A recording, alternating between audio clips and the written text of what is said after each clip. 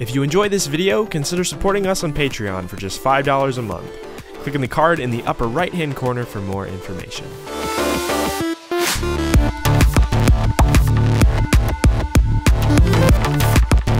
Okay, so since the last clip you saw, I've gone through a lot of updates. Um, I've gotten a new computer. You can click on my video about that in the upper right hand corner right now.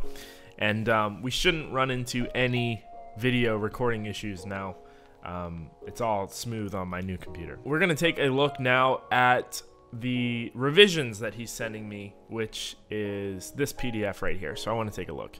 So this is what looks to be a concept with the circle, which I actually quite like that. The typography I think is a little too heavy. Um, I prefer my type a little bit more spaced out and a little bit thinner.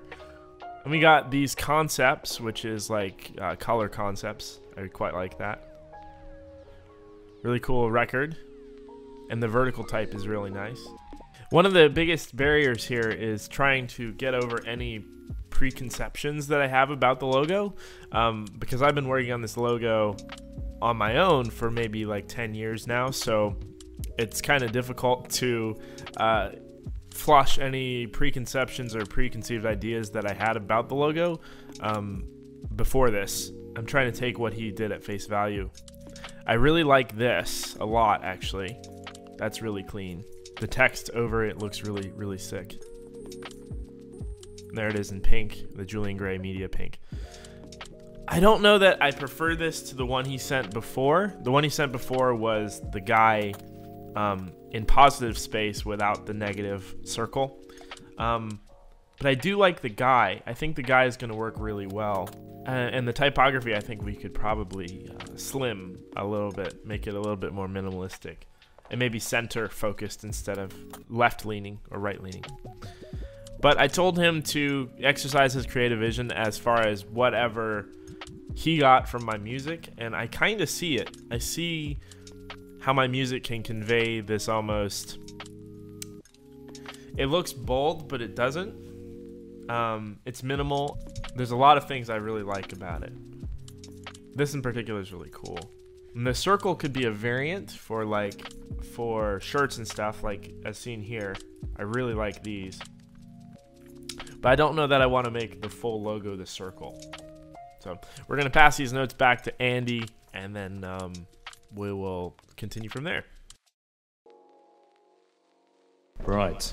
Uh, I will share my screen to show you what I've uh, what I've been up to, and then welcome to Ooh. the big board of Julian Gray. Um, I believe the design that was kind of uh, the original design I mm. sent to you was this guy here. Yeah, that was in the previous. Yeah.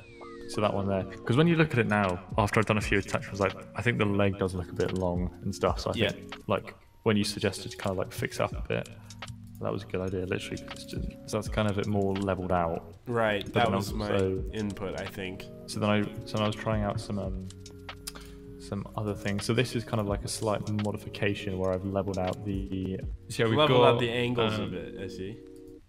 Yeah, so it's kind of a bit more kind of like straightened right. uh, connected. But then I also did this is a slight variation. So this guy here. Yeah. Uh, if you if you can kind of like see there, it's a bit more kind of fills out the space a bit more, which I thought right. maybe for the whole circle, depending on what kind of look you're going for. If it wants to be a bit more filled out, doing that route. And also, um, I was looking around and I found a better font that looks uh, nice, like a bit thinner. Mm-hmm and I, I don't know how kind of like thin you were uh, you were wanting it, but if like paired next to the yeah, so it's still a kind of like it retains the um, it still pairs nicely with the symbol. Mm-hmm. Uh, but then yeah, obviously is then a, a thinner than the original, and then also as well just the the it's a bit more kind of like rounded off instead of being almost like cut into on the previous one there. Right. Yeah. any kind of I do prefer kind of that one on the right. The mm-hmm. um, the more it's almost minimalistic, uh, very mm-hmm. thin and and kind of I don't know, it breathes more. As far as the guy goes, um, they're all they're all quite good. I do like the alignment of the the angles more than than not. I like how you adjusted that leg so that the they kind of um, line up better than in the original one you sent me. Any other any other things that you can think of that maybe could be cool? Do you reckon is that are you happy with are you happy with that? I'm liking it a lot. Have you tried a center line where you'd have the the circle above? I haven't, but I can try it right now because obviously, like, we can have different configurations for the logo, and then I can send you like, yeah, a load yeah. of them. As far as like the symbol goes and the the, the text, I think that's solid. Mm-hmm. I think just experiment with different alignments and placements of the two relative to each other. And I also quite like the ones where you have him out of the circle, like in almost positive space instead of the negative of the circle. Well, I, I like the circle one, but do you think there could be multiple versions, one negative, one positive? Yeah. So we can try some stuff. I do think, I do personally think probably from like looking at that could definitely, that could definitely work. Um, but maybe some. Actually, you know what? Now, now seeing it in the, now seeing it in the flesh. That that could, that could be that could be doable. Because I think beforehand I was thinking that the weight imbalance was a bit Weight was a bit imbalance off, is kind of strange, but yeah. um, Because I think obviously you want you want the like the text and the uh, the mark to kind of uh, complement each other. yeah, yeah, they want to be So I do think similar, that- right? hmm. Um, I do think then if we if I just use like an actual live um, version of the text just to kind of like show. But like even just kind of, I feel like if it's outside, like thickening it up just like even a little bit like this would probably help yeah, um, help it a bit more. But then obviously we can keep it nice and Yeah, thin yeah. inside. because I think I think the Yeah. circular one is the like the the money shot, if you will. It's the the Yeah. the main one, but the other one can Mm-hmm. be used for other stuff. Like if I need to put on a, a flyer or something that's needs to scale smaller, I don't know that the circle Mm-hmm. would scale as well. What? So say okay. Say for example, if we did a bit more exploration with the the guy over here, the positive guy. What kind of what kind of stuff would you do you have? Would you have in mind for that kind of stuff? I really love the circle. It just has to work in positive Yeah, two, so as- that if I if I'm on a different one where I need a positive space, it Mm-hmm. will work. You know, So I mean, this works really well on black and white, but Yeah. like that negative space shape thing won't be conveyed on every color. I think. Um, I'm just thinking about it in the perspective of like, if it's at 15 point font and Mm. it's over multicolors, like a starry background, for example. I think I think the two versions we've got here definitely work because they are essentially the same figure. Because I think I think definitely the the one in the circle is really would be really good for like larger Yeah, 100%. larger things. Like I could I could see that on like a massive like poster or something. Like I just don't think the negative space conveys the same when it's over like a very stylized background.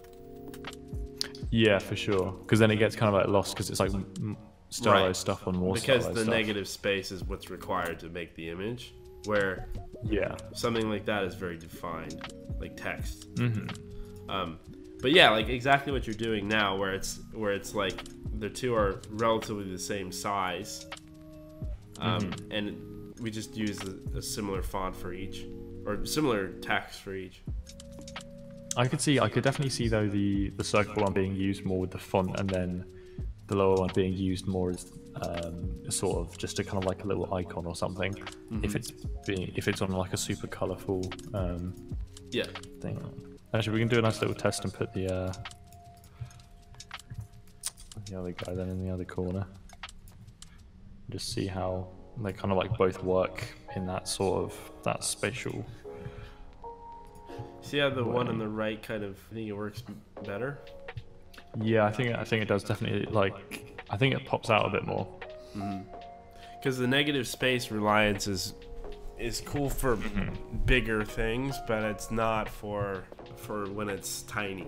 That's why I'm saying like one of each would probably be best because then I could use It's the same mark essentially. It's just the Yeah, no, circle yeah. works for some applications, and then the other one for small. Yeah, so say for like yeah, for like smaller ones you could use just the positive, and then the bigger one you could use Exactly. the negative. So if you want to make up some mock-ups of like essentially the exact Yeah. same mark, one in negative and one in positive, that would be um, ideal. Can do. Like that works great, big. And then the little one works really Works well for the little one. small or yeah. That's the thing. I think it's yeah, even in that kind of size, it's still recognizable and Mm-hmm. noticeable. Right. Where the circle one kind of gets lost at Yeah. 10 point or whatever. Yeah. That looks Again, cool. it's all about kind of like getting a simplicity and kind of like simplifying it down to like its basic form. Uh-huh. Well, yeah, if you want to make a, a final PDF, I think, I, I, I think the mark is done. I think it's just a matter of making a version in positive and negative. Um, shouldn't Yeah. be too difficult. And then uh, the text off to the, the right, and then maybe some um, with the text aligned underneath in the center. Mm-hmm. And that's pretty much it. Sounds good. Really cool. It actually looks really good on that pink and blue thing. It does, doesn't it? I was, I was just thinking that. I was like, ooh. All right. Um, I guess I'll talk to you soon, and, and I think after that we'll be pretty much finished. So we will be. maybe another call in like a week or so. So, here's the kind of like the final uh, pieces of it with um, so obviously the word mark at the top Right. that can be used for places like obviously like like say like festivals or like like smaller like tour things. Um, and then just like on the bottom there on the left, obviously like the guy that can be used in like the smaller situations if you need to be more pronounced, and then Right. the circle man who can be like kind of used more for bigger posters and things like that. Exactly. Yeah. So like for example, this guy here, quite a quite a low res image, but uh, Yeah. oh no, there we go. But Looks so good. just like a I base, get the gist. like a basic thing, very just sort of minimal kind of design there. But like I think that definitely that definitely works well as a as something because it almost it almost resembles like a little emblem when you're looking at it from there Right. which is which is quite nice. And then obviously, I don't know if you can see then, yeah, there at the top, there's a sort of like a little version of the guy, kind of like Ah, it's a like tag. yeah. So Yeah. it kind of it shows that it yeah that it is working quite well as a smaller as a smaller guy as well. right. Right. Uh, but then I've got so I made these mock-ups. I just found some like poster things like for festivals online and stuff. And so I've I've subtly uh I've subtly uh, kind of put your put, put the logo into the different places. Worked them in there. Which Man, I didn't mean, know I, I was billed that high. there we go. Yeah. You're No. headlining Reading, my guy. Yeah. Um, no, yeah, it looks so- great. Yeah. So then, because that's that's all that's all um because then it really does seem like nice and integrated and stuff, and I think it kind of like works. Because that's the thing, like if like it's got to kind of like work amongst the other sort of logos and stuff out there. That's Right. quite that's quite important. It works in context. yeah. Yeah, no, definitely. Uh, so yeah, that's sort of views there, and then I saw I made a little mock-up like tour poster thingy here. Oh, that cool looks sick. Last time. Yeah. Which like, so you can see like the use of like the big, the big logo. and I, I found I found some I found some of your uh, tour dates online, so I. Oh, those on nice there. I do my research. Oh, it's real. yeah. There we go. But yeah, so that's kind of those are that's the sort of uh that's the sort of vibe. If there's any, is that is that looking good to you? Do you reckon? Absolutely. Yeah. Hell yeah. That's like the whole So the vibe I was going for for sure. That is that is great to hear. That's the that's the best thing I could hear in this situation. Yeah. yeah. Imagine if you just went, hmm, I've had some time to think about it. And No. I would sure I would use now. that I would use that poster mock-up like as an actual poster. Like, much and the good like thing is as well, the uh, the picture behind it is royalty free, so hey, I can use it. you fully could. yeah. Cool. Yeah, so that's kind of just in the smaller. So obviously, like, Mhm. yeah. So there's yeah, like three little variations, but then obviously all of them are still Right. consistent with each other. That's looks Yeah. brilliant, dude. Good stuff. It's great to hear. I think it. I think it looks done. I think I could use that as it is. To be honest. Brilliant. That I can't. I can't. I can't wait to see this. Um, like the LED like uh, Yeah. panels and stuff like Yeah. that. I used like the beta version of the circle one um, Hmm. it, on a panel a few weeks ago. I think I have I, I have a few like Snapchat videos of that, but I don't have like Oh, any nice. proper photography of it. Um, but I'll send those, and I might put them on the screen or something. I don't know, Oh yeah. but I'll send those Yeah. your way. You can see. That'd be great. That'd be great to see. But then when we Yeah, get it finalized, then I can surely use this, you know, There we go. Exactly. for every And then you've got you've, you've got a choice between three variations to use then. so Awesome.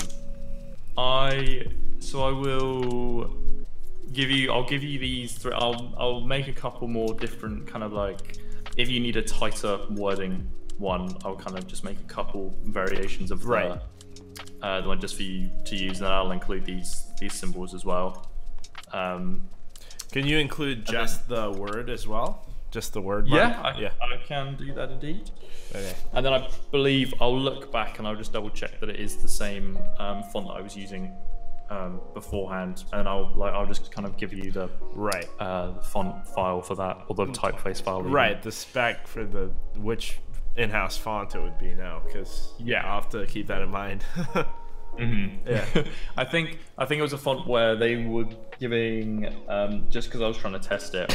I got the because there are a few people that they sort of do like demo weights and stuff. So they'll there's like a font that you normally get a license for, Right. But then uh, they'll give out maybe like two free ones just so you can kind of like test out and stuff. So I yeah, think I have just no as a kind of- problem buying the license for it. If- yeah, I was just yeah, I was just saying that I think that is it is a licensed um, font. So if you would want to mess around with the weights and stuff yourself, um, Right. If there is any situation where you need it, then yeah, just a heads up, there may be a bit of a a fee on the font end. That's okay. Yeah, and I mean, it, paying for a good font is fine by me. That is very. that is At least very it's true. not like a hand-drawn glyph that there's no way I can recreate. Yeah. Yeah. Because that would not have uh, that would not have been the best. That's like something I really don't like in logo design is like I mean it looks good for things like script, but when you Yeah. hand do hand do sans serif fonts, it's Mm. kind of like unnecessary. Yeah, it's like the handwritten kind of look to it. I think.